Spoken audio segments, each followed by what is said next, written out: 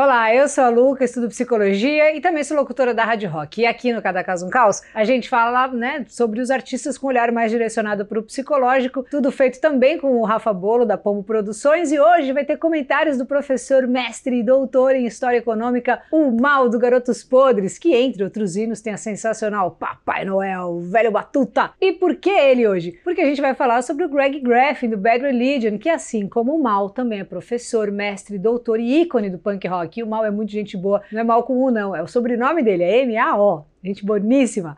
Gregory Walter Graffin III nasceu em Madison, em Wisconsin, no dia 6 de novembro de 64. Ele é o segundo dos dois filhos, né, do Walter e da Marcela. O pai dele era PhD em inglês e para ele educação era tudo, não era nada ligado à religião. Pelo contrário, preferia jogar tênis e beisebol aos domingos do que na igreja. A mãe, também acadêmica, teve uma criação super religiosa. O avô, para você ter uma noção, era pastor e a família pegava pesadíssimo nos ensinamentos ali a ponto de fazer decorar grandes tecos da Bíblia. Isso meio que traumatizou e ela e o irmão, né, o tio Stanley, juraram nunca criar os filhos do mesmo regime. Então, segundo o próprio Greg, ele e os primos foram criados nesse vácuo de religião. Ainda novinho ali pelos sete aninhos, assim, ele curtia sintonizar as rádios rock ali no carro, né, quando a família saía de rolê, ele ficava com a cabeça ali colada no alto-falante, só curtindo o som e cantando junto. E se você também é desses que adora ouvir um som, bora também tentar fazer um? Pô, a gente sempre indica aqui a Music né, que é uma escola online sensacional que você aprende a tocar tocar logo de cara nos primeiros 10 minutos já tem som saindo, é demais. E é totalmente online, então entra lá, pega o seu descontaralho por esse link aqui, musicdot.com.br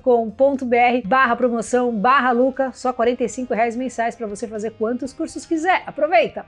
Bom, nessa época aí, a maior influência musical para o pequeno Greg vinha do tio Stanley e da mãe. Por conta do background religioso, a família estava acostumada a cantar uns sons na igreja. Então, quando eles se reuniam, rolava a cantoria pesada. O tio fazia as harmonias com a mãe de altos louvores e músicas folk bem antigas, e o pequenote ficava ali ouvindo e pirando. Segundo Greg, a música foi a melhor parte da religião. Quando ele tinha 13 aninhos, leu um livro sobre a história da cultura.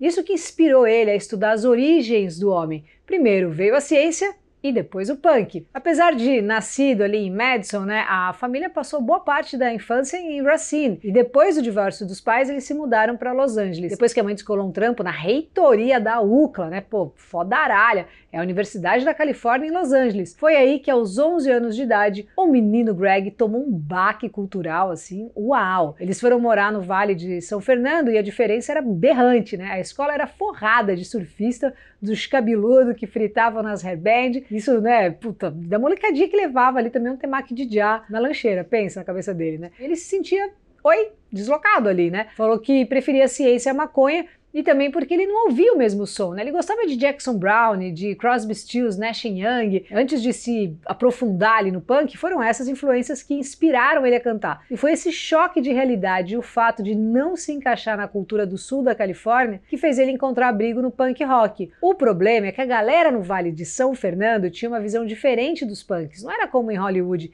que a pancaiada andava de bando, tinha uma cena mais latente lá, né? Nos subúrbios onde ele morava, era completamente diferente. Não eram os punks que davam porrada como todo mundo imaginava, mas sim levavam. O Greg conta que os cabeludos mais guachumão ali odiavam os punks e rolava um bullying pesado, assim, né? Ele conta que uma vez apanhou na escola de um desses maninhos aí, capitão de time de futebol, e total aleatório, assim, apanhou de graça, né? O cara puxou uma briga sem motivo nenhum e ninguém foi ajudar ele, e ainda saiu contando vantagem como, sei lá, se o cara tivesse feito um touchdown, assim. E ele complementa o seguinte, abre aspas, esse tipo de violência era completamente inexplicável, eu não entendia. Por que essas pessoas estão tão nervosas? Fecha aspas. E foi essa exclusão que uniu ele aos ainda meninos Jay Bentley, o Jay Ziscrout e o Brett Gurewitz, que passavam ali esse mesmo veneno, os punks do subúrbio, cansados de levar a pancada, descobriram altos gostos em comum e acharam na música uma escapatória. Então, aí que entra o esquema. Né? Eles resolveram montar uma banda e começaram a ensaiar todos os dias na garagem da mãe do Greg, que super apoiava, né? E deixava a molecada vá lá, vá lá fazer seu som, né? Então eles faziam barulho à vontade, apesar dos vizinhos ali ficarem meio de segunda. Aliás, ela sempre, né, apoiou a cantoria do filho Canarinho. A garagem, essa daí, inclusive, foi carinhosamente apelidada de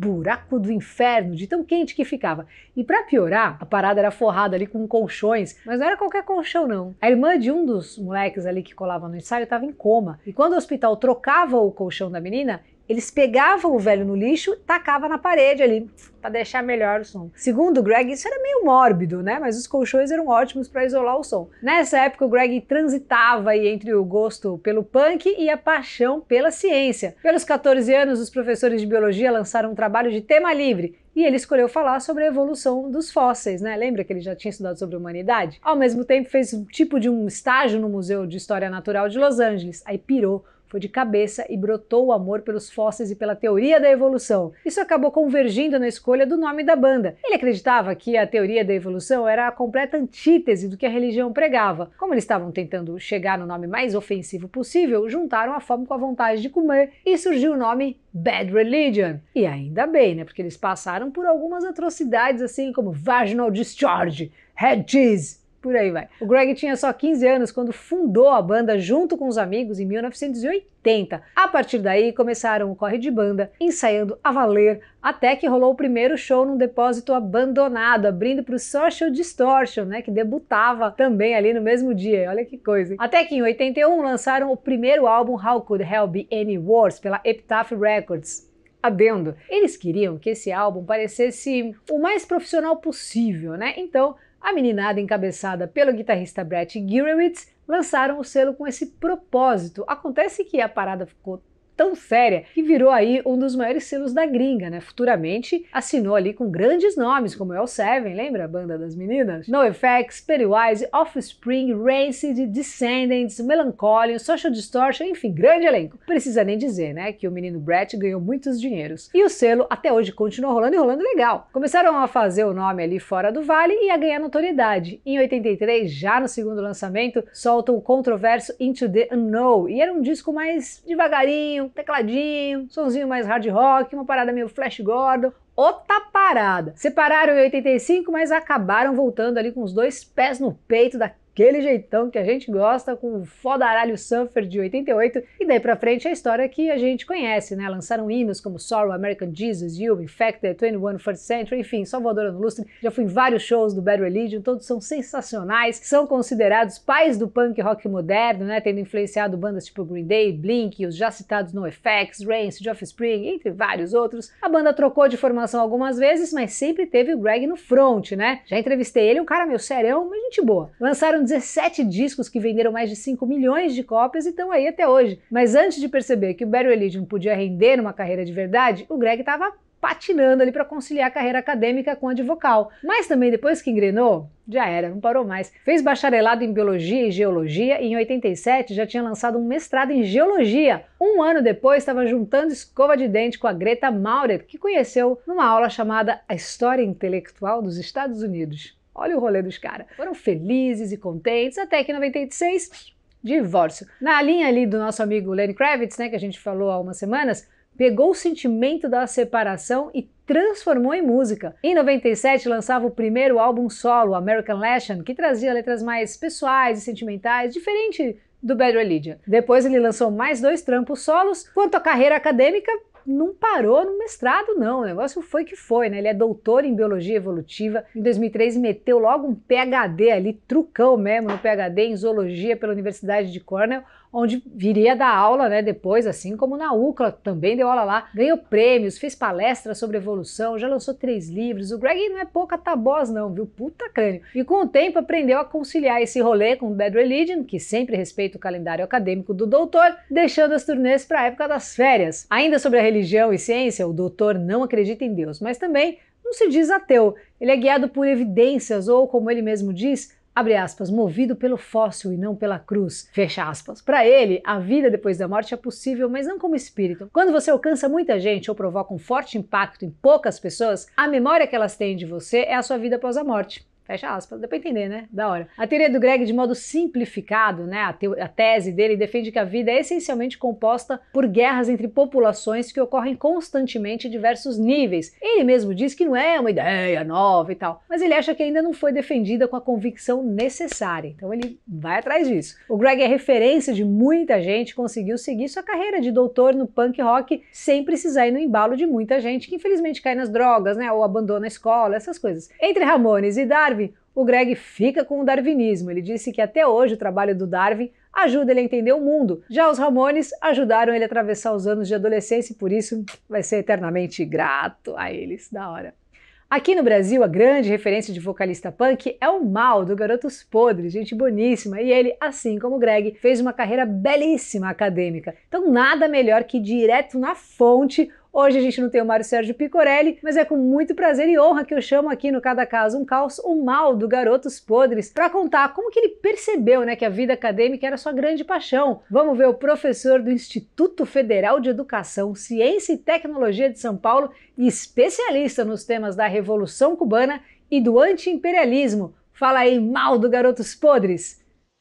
Oi, pessoal. Aqui é o mal dos Garotos Podres. É, e o pessoal que é que é fã da banda, que conhece os Garotos Podres, sabe que, além de músico, eu também sou professor. Ou seja, eu tenho uma carreira, digamos assim, acadêmica. O que, de uma certa forma, parece um tanto quanto inusitado para quem não conhece a banda profundamente. Né? Então, uh, em primeiro lugar, por que, que eu sempre gostei de história? Eu diria o seguinte, que tem louco para tudo. Eu, desde pequeno, sempre gostei de estudar, o que não é muito comum, digamos assim. É, desde criança eu gostava de, de pré-escola. E, além disso, eu sempre gostei de história. Talvez o meu gosto pela história venha da, é, da experiência que eu tinha em casa, que um tio do meu pai, que sempre quando vinha em casa ficava o dia inteiro é, discutindo com meu pai, discutindo política, principalmente política da década de 30, histórias da Guerra Civil Espanhola. Então esse é, tio do meu pai, ele esperou o ditador Franco morrer para é, visitar a Espanha depois do fim da ditadura do Francisco Franco e voltava contando as histórias da Guerra Civil Espanhola, visitou os lugares onde houve os principais combates. Então, para mim, a história dos anos 30, da Segunda Guerra Mundial, da Guerra Civil Espanhola, é algo que eu conhecia em casa. Isso me influenciou bastante. Então, fiz a licenciatura e o bacharelado em História na USP. Depois, eu fiz o mestrado em História Econômica, também na USP, e o doutorado em História Econômica na USP. E hoje sou professor há 33 anos e é isso aí. Né? Qualquer coisa é só o pessoal perguntar. Então, até mais. Um grande abraço demais, né? Ele é muito querido. Adorei ouvir um pouco mais da história do mal. E você, me segue aí no Insta, se inscreve aqui, se curtiu, compartilhe, vamos que vamos.